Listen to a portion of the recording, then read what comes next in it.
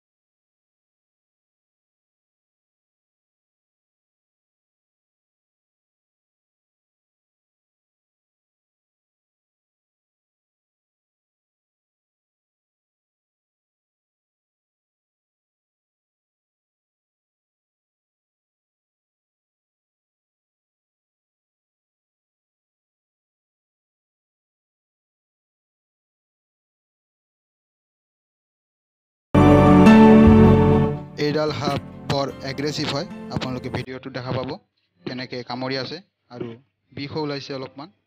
চাই লওক বটলটোত। এয়া আমি আহি পালোঁ বালিপাৰা সংৰক্ষিত বনাঞ্চললৈ। এতিয়া এই চকুৰি ফেটিডাল সাপক ৰিলিজ দিম।